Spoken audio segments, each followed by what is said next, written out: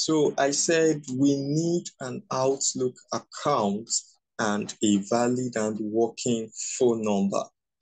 Now I am just going to act like I do not have an Outlook account and I want to create one and I want to create one.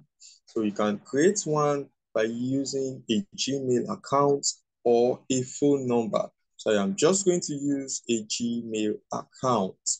And as soon as I type it, I'm just going to press eh, next. Let me enter my password.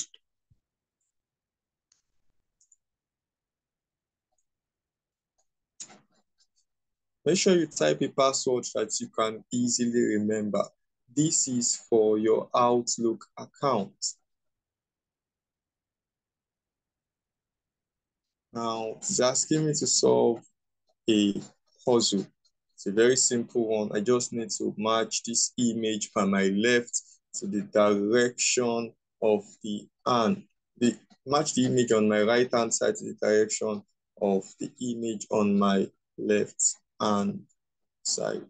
It's a very easy one. I just want to prove that you are not a robot. Oh, think I did not get that. So this is it. Okay.